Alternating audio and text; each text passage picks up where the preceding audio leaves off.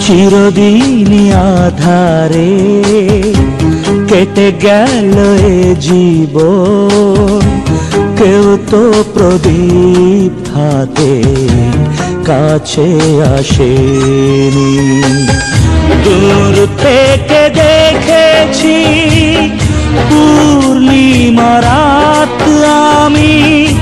কখনো আমার ঘরে জ্যোৎস্না ফোটেনি চিরদিনই আধারে কেটে গেল এ জীব কেউ তো প্রদীপ হাতে কাছে আসেনি।